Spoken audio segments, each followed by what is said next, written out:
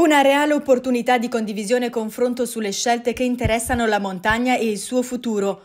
Il convegno Il futuro delle zone montane nei parchi, organizzato da Patagonia Cortina all'Alexander Hall, ha visto alcuni grandi attori impegnati nella salvaguardia della natura di montagna. Alla base la convinzione che parchi, oltre a preservare, promuovono, studiano, gestiscono in modo armonico ed equilibrato i territori con tutte le attività che lo compongono. Fondamentale anche per questo l'importanza della tutela delle biodiversità. Noi abbiamo un solo pianeta. In questo pianeta ci sono degli organismi viventi. Purtroppo gli ecosistemi naturali sono sempre più attaccati, abbiamo ormai meno del 3% di questi ecosistemi ancora integri, c'è un'estinzione di specie in tutti i gruppi sia animali che vegetali, di conseguenza questa è la vera priorità per il nostro futuro, per la salute, anche per la qualità della vita e per le future generazioni.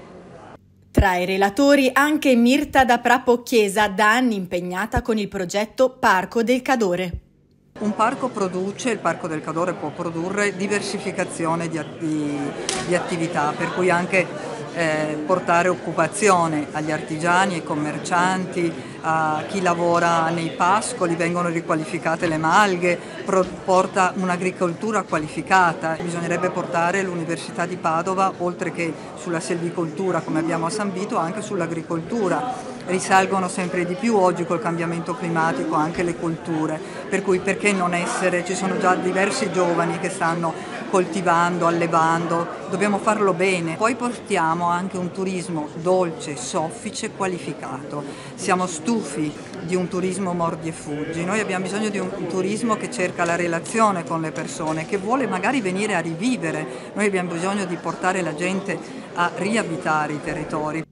A seguire l'appuntamento anche Roberta De Zanna del gruppo di minoranza Cortina Bene Comune che ha colto l'occasione per ricordare l'appuntamento di domani mattina alle 10.30 sotto al campanile di Cortina per manifestare contro la costruzione della pista di Bob e degli interventi per le Olimpiadi Milano Cortina 2026.